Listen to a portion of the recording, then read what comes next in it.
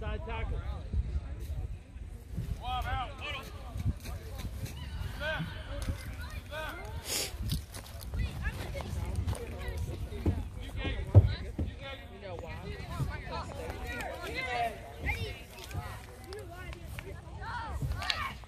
Right, read this, okay?